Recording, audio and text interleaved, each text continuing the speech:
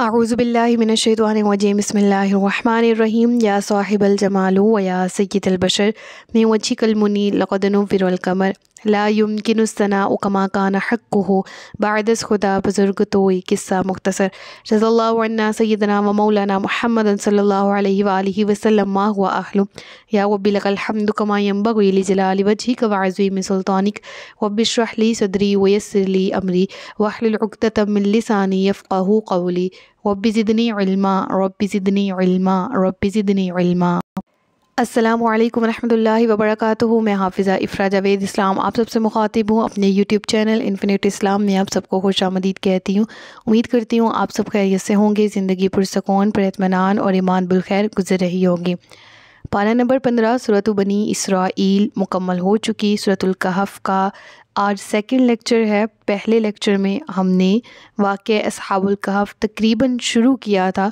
आज के लेक्चर में हम इंशाल्लाह वाक़ असहाबुल कहफ़ को बाकायदा बाकी का पढ़ेंगे। तो शुरू करते हैं आयत नंबर तेरह से। नहनु नकुसली का नबा आहम बिलहक़ इन्नहुम इन्नहुम फ़ितियतुन आमनु बिरब्बिहिम, वज़िदनाहुम हुदा। हम आपके सामने उनका ठीक ठीक हाल बयान करते हैं। बेशक वो कुछ जवान थे जो अपने रब पर ईमान लाए और हमने इनकी हिदायत में इजाफ़ा कर दिया। इस रुकू का इब्तदा है, नहनु नकुसली का नबा आहम बिलहक़, कि हम आपके सामने उनका ठीक ठीक हाल बयान करते हैं। तो गुज्त लेक्चर के इब्तदा में मैंने कहा था कि मुशरकिन मक्का, यहूद नसारा वो तमाम के तमाम मिलकर रसूल पाक सल्लल्लाहु अलैहि वसल्लम के पास आए थे उनसे क्वेश्चनिंग करने और उन्हीं में से किसी ने सवाल किया था वाक़ साबुल कहफ़ के बारे में। तो उस वक़्त ये सूरह मुकम्मल नाजिल हुई एक बारगी में नाजिल हुई और वाक़ साबुल कहफ़ भी इसमें बयान किया गया। तो यहाँ पर वही सेंस में बात हो रही है रब्ज़ुलजलाल फरमा रहा है कि हम आपके सामने उनका ठीक ठीक हाल बयान करते हैं कि बेशक वो कुछ नौजवान थे जो अपने रब पर ईमान लाए थे। फिर हमने उनकी हिदायत में इजाफ़ा कर दिया। किस तरह से? ईमान लाए और उस पर साबित कदमी की दुआ की, साबित कदमी की मेहनत की, कोशिश की। तो रब्ज़ुलजलाल रब किबरिया उस ईमान को बढ़ावा ज़रूर देता है, जो कि एक्सेप्टेंस के बाद अमल की तरफ़ तवज्जो दी जाए जब। और दूसरी बात ये कि जब एक इलाह मान लिया है तो उस एक इलाह की भी मानी जाए। जब को और की तक का सफ़र तय हो जाता है ना, को से की तक का तो फिर हिदायत की तरफ़ सीढ़ियाँ चढ़ना शुरू हो जाता है इंसान। और इस आयत की तफसीर मेरे दिल के बहुत ज़्यादा करीब है कि मैं इसको अगर अपने हालात से, अपने आप से, अपने दौर से रिलेट करूँ ना तो हर वो ईमान वाला शख्स जो रब्ज़ुलजलाल पर ईमान लाए ना, मैंने ख़ुद भी एक्सपीरियंस किया है। को बयान करते हुए थोड़ी सी इमोशनल इस वजह से हो गई हूँ कि रिसेंटली मेरे साथ एक वाक़ पेश आया, मैं ज़रूर चाहती हूँ कि मैं आपसे वो शेयर करूँ कि मैं एक जगह से वापस आ रही थी तो मेरे पास उस वक़्त इतने पैसे मौजूद नहीं थे। इतने ही थे जो ज़रूरत के थे और मुझे काफ़ी काम करने थे और उन कामों के लिहाज से मैनेजमेंट के हिसाब से मेरे पास पैसे कम थे। मैं आपको तवक्ल की बात बताने लगी कि मेरे पास एक बच्चा आया और वो कुछ चीज़ें बेच रहा था। उसके पास पापड़ और चिप्स वगैरह थे और वो कह रहा था, आप ही ले लो मुझसे, ले लो। और एकदम मेरे जहन में आया कि ये इतनी धूप में नंगे पाँव खड़ा होकर भीख नहीं मांग रहा, बल्कि कोई चीज़ सेल कर रहा है तो मुझे इसकी मदद करनी चाहिए। एट द टाइम मैंने बग़ैर सोचे समझे मैंने उसको कुछ रकम दे दी।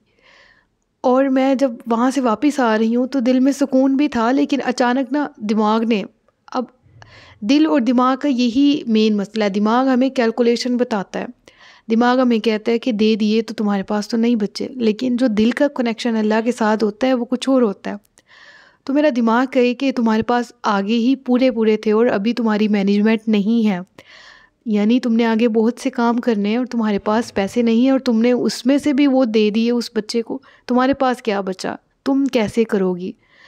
तो दिमाग और दिल का आपस में झगड़ा था। उस वक़्त वो पूरी कैफियत, पूरे सफ़र के दौरान मेरे ऊपर तारी थी और मुतमिन था उस वक़्त। और मैं बार बार रिपीट कर रही हूँ, ये बात आपको इसलिए बता रही हूँ कि इस आयत को समझिएगा।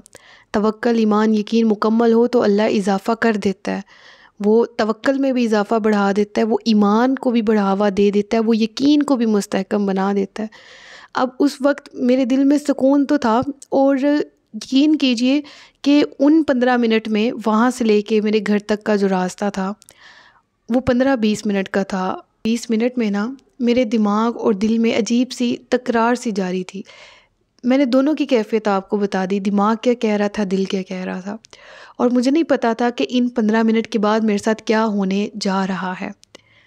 अब मैं जब एक जगह पहुँची, वहाँ से, जहाँ से मैं निकली थी, वहाँ से मैं अपने घर तक पहुँची तो आप यकीन नहीं करेंगी कि जितनी रकम मैंने दी थी, मैंने उसको एक्सपीरियंस किया कि रब्बुल आलमीन कहता है कि मैं बढ़ा के देता हूँ। मैं उसको मल्टीप्लाई करके देता हूँ। जितनी रकम मैंने उसको दी थी, अल्लाह ने दस से मल्टीप्लाई करके मुझे उसी वक़्त बीस मिनट के बाद वो मेरे हाथ में थी रकम। और वो मेरे काम के हो जाने के लिए भी आसान थी और स्टिल काम हो जाने के बाद वो बच भी गई रकम। और जब वो मेरे हाथ में थी, मेरे लिए सब कुछ अनबिलीवेबल सा था। मेरा दिल मुकम्मल सुकून में था और वही बात के दिमाग जो पहले कैलकुलेशन सिखा रहा था वो शौक था कि हाउ कैन इट पॉसिबल ये कैसे हो गया?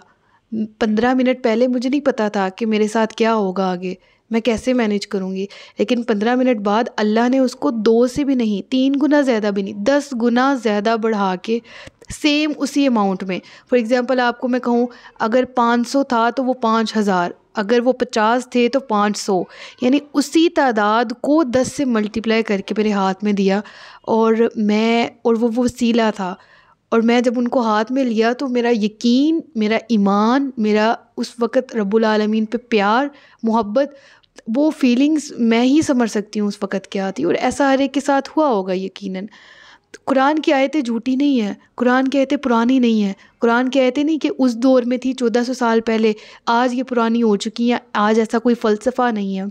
हर आयत बोलती है, हर आयत आपको कुछ सिखाती है, आप उससे रिलेट कर सकते हो।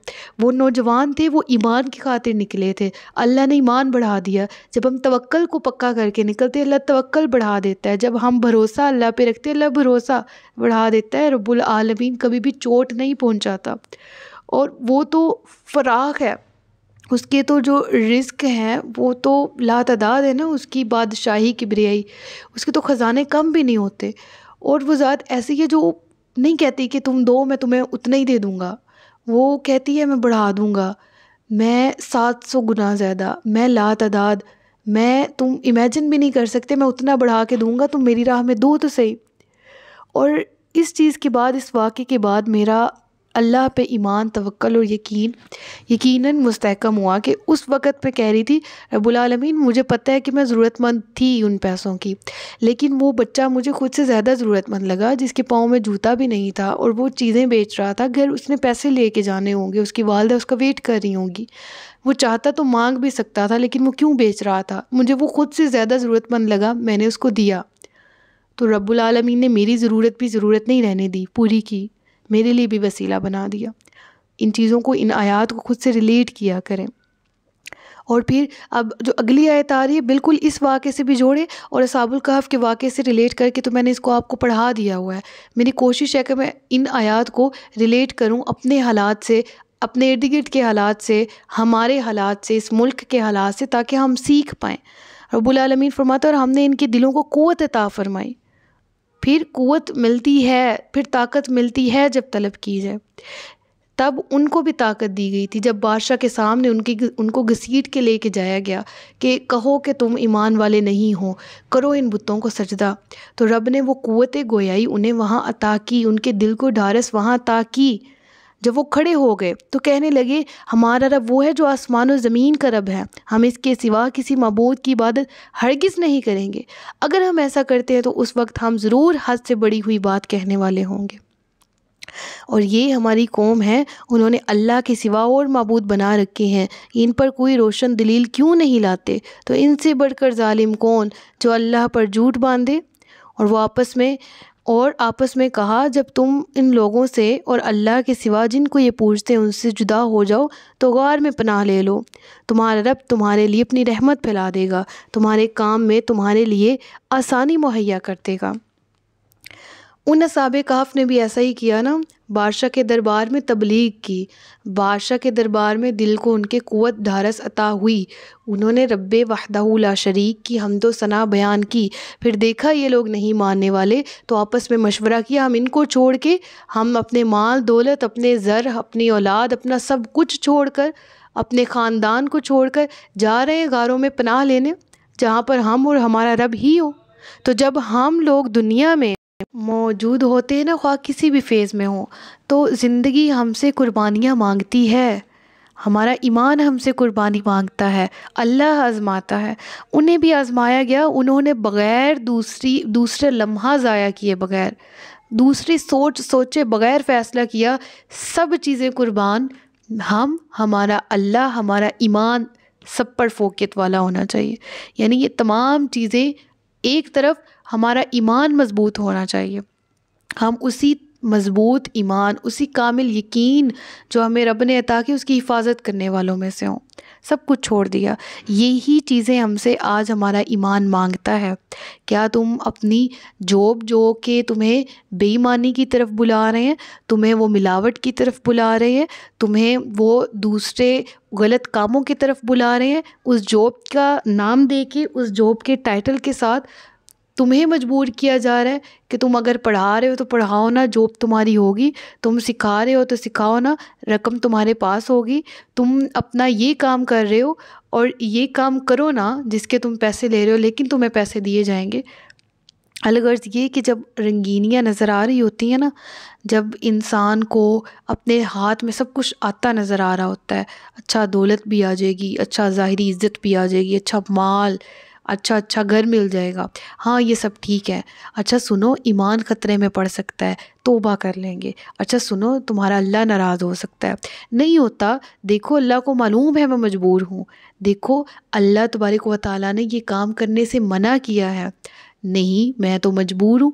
नहीं, देखो ना, यहाँ पर कंडीशन ये लग रही यहाँ तो सूरत ये लग रही हमारे पास अल्लाह की बात को जुटलाने के हज़ार हा बहाने होते हैं।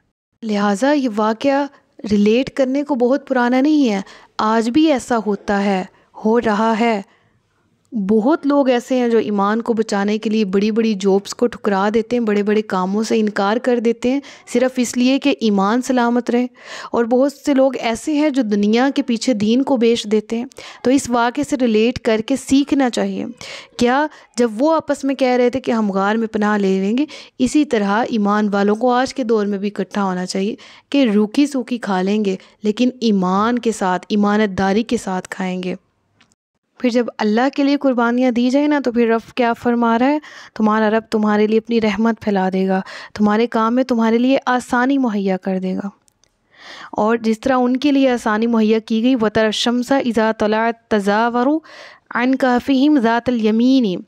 रब फरमा रहे हबीब, तुम उस सूरज को देखो कि जब निकलता है तो उनके गार के दाएँ जानब माइल होकर निकल जाता है। और जब गुरूब होता है तो इनके बाएँ तरफ़ कतरा कर गुजर जाता है, हालाँकि वो इस गार के खुले हिस्से में है।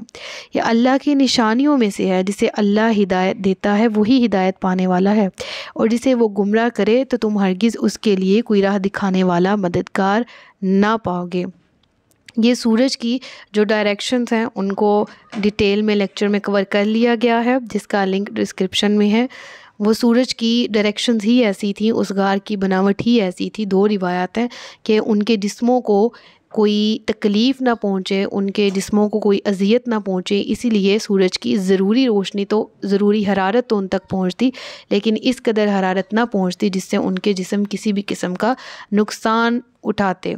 ये अल्लाह की यकीन निशानियों में से एक निशानी थी जो अल्लाह ने उन ईमान वालों को अता कर रखी थी कि सोते हुए भी उनका ख्याल रखा जा रहा था। और अगर वो वली थे तो ये सोते हुए भी उनकी करामत थी जो अल्लाह की तरफ़ से उनको अता की गई थी। सदक़ल्लाज़ीम व सदक वसूल करीम। सच फरमाया, अल्लाह ने जो अज़मत वाला है, अपना बहुत सा ख्याल रखिएगा, मुझे दुआ में याद रखिएगा। ताजदार ख़त्म नबूत ज़िंदाबाद। पाकिस्तान हमेशा ज़िंदाबाद। अस्सलाम वालेकुम रहमतुल्लाहि